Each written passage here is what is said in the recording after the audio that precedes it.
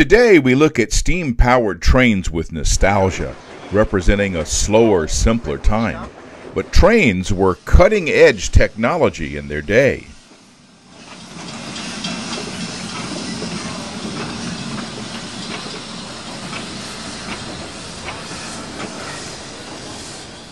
The railroads were all vying for that competitive edge to better move freight and people. For passengers, trains were a miraculous leap forward in speed and comfort of travel. As railroads moved across the Wild West, journeys that took months in wagons, or that jarred every bone in a person's skeleton, now took days on a fairly smooth road of steel rails. River crossings now took minutes instead of hours, and passengers could actually gaze at the Atlantic and Pacific Oceans in the same week. In the days of such blazing progress, it's doubtful that many passengers would complain about the hard wooden seat they might occupy until they'd actually had to ride in one for many hours or several days. The padded seats you see here would have been a huge step up from the coaches of the trains back then. With multi day journeys now within reach of those with means, demand for greater comfort was emerging in the United States. That demand was heard loud and clear by this man, George Pullman. Pullman believed that people would pay extra to take their journey in comfort so he set up a company that built high quality coaches and sleeping cars. Rather than selling the cars to railroads, Pullman leased the cars by contract. Railroads that wanted the image of quality and quality service were eager to sign on with Pullman. Pullman cars were a hit with the public.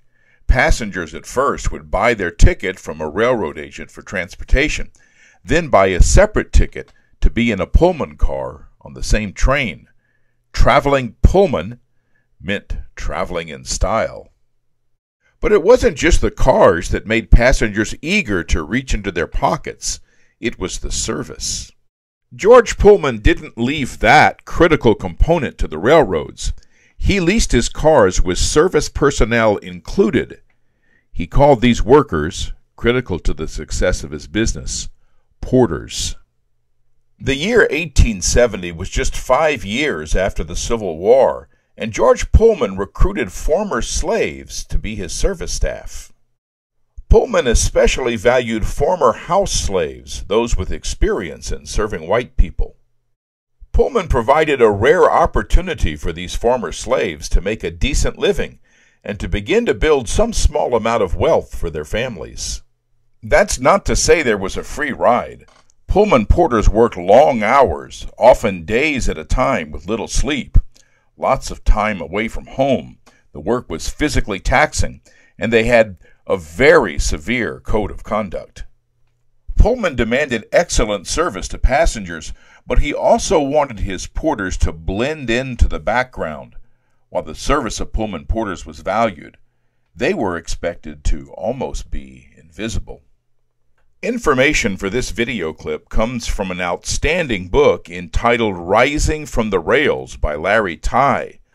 I'll continue relating what I learned from it, but to get the whole story, I highly recommend getting and reading this book. Another book about Pullman porters is The Brotherhood of Sleeping Car Porters by Robert L. Allen. I haven't read it. While George Pullman's business model was a roaring success with the public, there was trouble in the company town of Pullman, Illinois. Pullman had a utopian vision, all his workers living alcohol free in good houses rented from him by his workers. This worked fine until the financial crisis of 1893, a depression only 20 years after the Panic of 1873. Pullman's business empire felt the pain. His response reduce workers' pay. When a worker's envoy asked that he in turn reduce the rent, he refused, and thus began the Pullman strike of 1894. George Pullman's refusal to even submit to third party arbitration left his workers little recourse. They were struggling to feed their families while Pullman dined in his mansion. The strike spread to rail yards across the country where American Rail Worker Union members refused to handle Pullman cars and stopped rail traffic. When riots broke out, federal troops were brought in. Before it was over, 30 striking workers were killed and the short lived union dissolved. Pullman porters were not involved in the Pullman strike. Passengers continued flocking to Pullman cars and enjoying the amenities and the stellar service. Passengers didn't realize that, in a sense, they were teachers, showing members of this isolated race how wealthy Americans lived. Some Pullman porters took every opportunity to learn and share this knowledge with their communities. They formed their own union, secretly at first, and struggled for more equitable pay and better working conditions. It was called the Brotherhood of Sleeping Car Porters. It was the first such effort to represent African American workers. That modeling and countless other acts were early manifestations of the civil rights movement. The long journey of the Pullman Porters leaves its mark on America even today. Read all about it in Rising from the Rails, published by Holt and Company Press.